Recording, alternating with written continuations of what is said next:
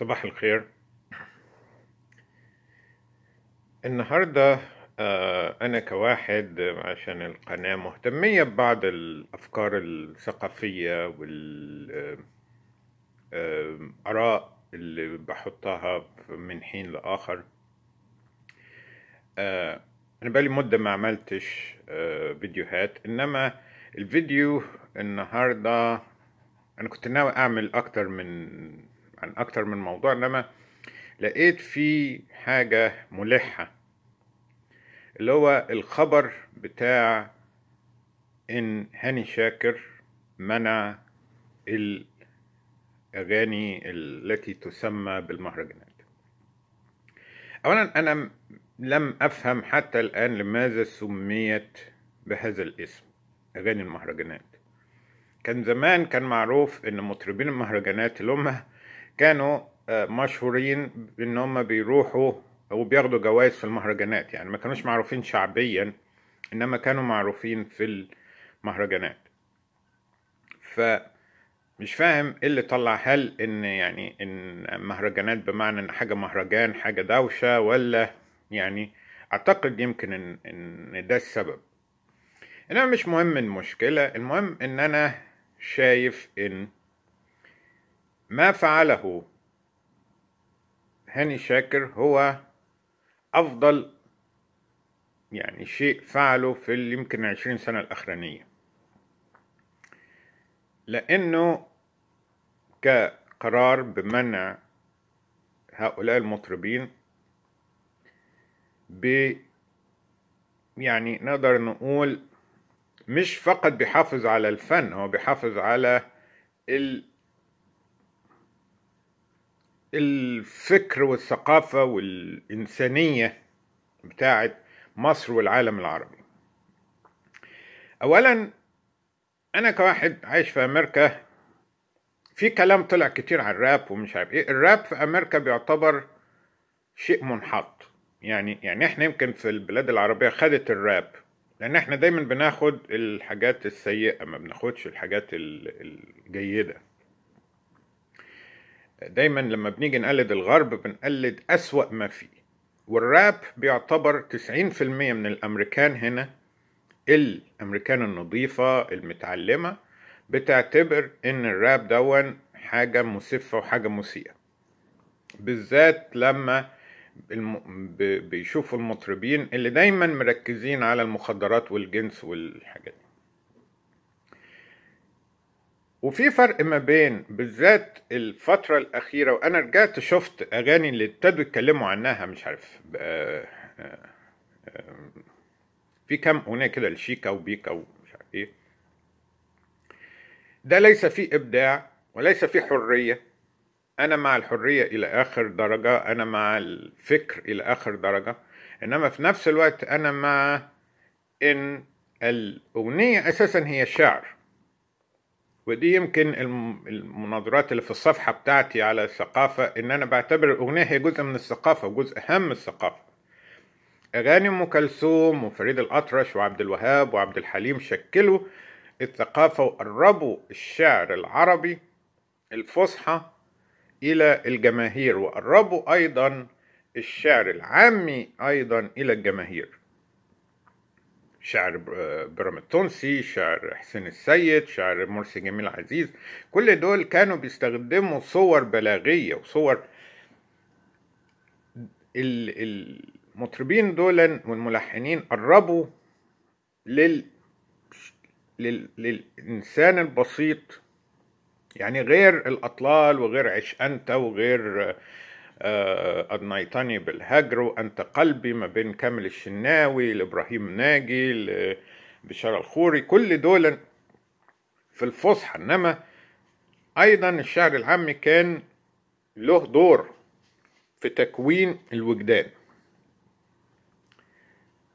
وفي فرق ما بين إن الرواية ممكن تصف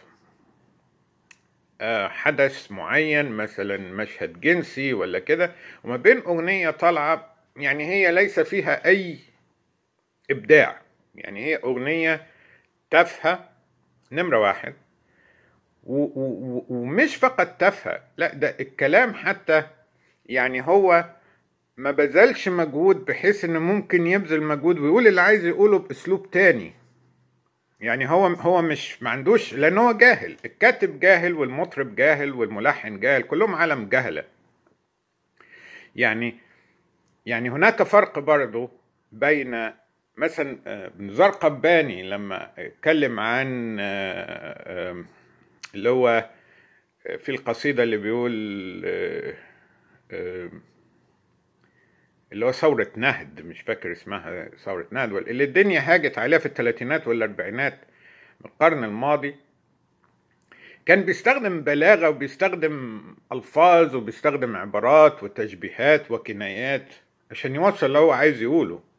وفي النهاية ممكن تفهمها برضه إن هو بيتحدث عن الوطن ممكن أو بيتحدث يعني يعني هو ف الفكرة هنا إن ده مش إبداع وده مش حرية. وفي نفس الوقت إحنا بنشوف مثلا الدنيا لما هاجت على كان في الأغنية بتاعت فلفل ومش عارف إيه من سنتين كده اللي هم دخلوا في السجون بنات كتيرة وقال لك ده تحريض مش عارف على إيه وده مش عارف إيه وإيه. هناك فرق برضو بالإيحاءات وبال إن إن واحدة تطلع ترقص بطريقة أو بتاع وما بين إن إن كلام موجه مش عارف فيه زنا محارم ويعني أنا سمعت حاجات لما انتبهت للموضوع سمعت حاجات فظيعة. إن إن إن إيه الكلام ده؟ يعني يعني يعني ده كلام يعني تعدى كل الحدود يعني يعني ما فيش منه كلام يعني يعني لم أرى ولم أسمع ولم أقرأ كلام مثله بأي لغة. في نفس الوقت هو حصل تراجع ثقافي كبير جدا في العشر سنين الأخيرة. وبنشوف إن إن في فترة من الفترات من ثلاث أربع سنين لما ابتدى يطلع رجعوا تاني حمدي باتشان والناس دول اللي هم كانوا سبب في هبوط المستوى الفكري والثقافي في أواخر الثمانينات والتسع... وأوائل التسعينات. وطلع حمدي باتشان بكل بجاحة يقول إن ما أعرفش هو طالع ليه والمذيعة سمحت بالكلام ده إزاي إنه يطلع يقول إن عبد الوهاب غار منه عشان كده عمل أغنية من غير ليه. طيب المذيعة المفروض يعني هو مذيعة كانت موافقة وعادي وفرحانة. أنا واحد من الناس أنا فريدي إلى الغاية. إنما لو هتقارن بين فريد وعبد الوهاب أقول لك فريد. ده ذوقي وده إحساسي وده أنا بحب صوت فريد وموسيقى فريد وبعتبره أكتر ملحن عربي مبدع و و إنما لما يجي بقى بين عبد الوهاب وحمدي باتشان طبعا أقول عبد الوهاب. إيه إيه حمدي باتشان ده؟ إيه الأغنية اللي هو آه بي يعني الهس بس ده. يعني يعني إن أنت طالع تقول إن عبد الوهاب غار من الهس. هو عبد الوهاب مش غار عبد الوهاب حس. وأنا فاكر أنا كنت في كانت سنة حاجة وتسعين حاجة وتسعة وتمانين على ما أعتقد لما عبد الوهاب عمل من غير ليه. أنا كان عندي 16 17 سنة أياميها. وفاكر بالظبط إنه كانت حصلت هوجة الأغاني الشعبية اللي هي منحطة مش أغاني شعبية بتاعت محمد رشدي وعبد المطلب والناس دول لا الأغاني الشعبية المنحطة بتاعت إيه الهس بس ده وكوز المحبة اتخرم والأغاني دي. في نفس الوقت الأغاني الشبابية اللي هي كانت سبب انحطاط أكتر اللي دلوقتي بيعتبروا الأغاني الشبابية يعني حاجة كويسة. المهم عبد الوهاب لما طلع طلع علشان يعيد الغناء لأصله. حس بان مفيش حد بيعمل أغاني عدلة. وحتى المطربين اللي هم كانوا مطربين درجة أولى إنما كانوا لسه شباب أياميها. ابتدوا ينزلقوا في هذا المنحدر بتاع الأغاني الشبابية. فعبد الوهاب طلع عمل من غير ليه. وبعدين كانت طفرة حلوة أو أو عودة حلوة إنه أياميها هاني شاكر بعدها غنى من غير ليه. وأكتر من من مطرب طلعوا وغنوها. ف آه، وطلعت آه، سمية أعتقد كانت من تونس لما غنت القصيدة وكان في صحوة فنية. فاللي أنا عايز أوصل له إن يجب أن نشكر هاني شاكر على هذا القرار لأنه من أفضل القرارات إلى النقابة والفنون وكله لأنه هذا ليس له دعوة بحرية الفن. هذا له دعوة ودور في محافظة على الثقافة وعودة إلى الأصل والمحاولة إلى إن نعيد الوعي ولازم الأول نربي الوعي علشان الناس تقدر تميز. الآن في عدم تمييز بين الجيد وبين الرديء.